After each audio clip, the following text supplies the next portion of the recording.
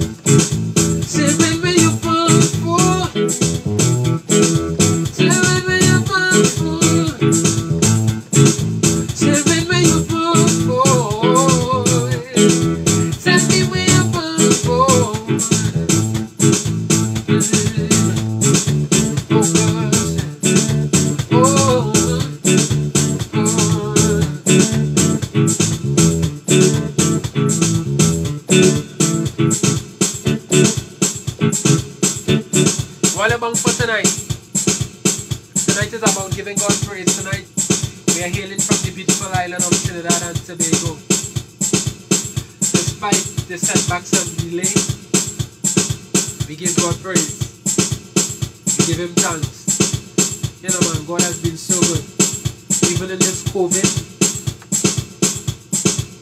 He has been so good. He kept us alive. Today we are standing. I know I just want to magnify His name, for He's worthy. He's worthy, he's worthy. I wrote a song.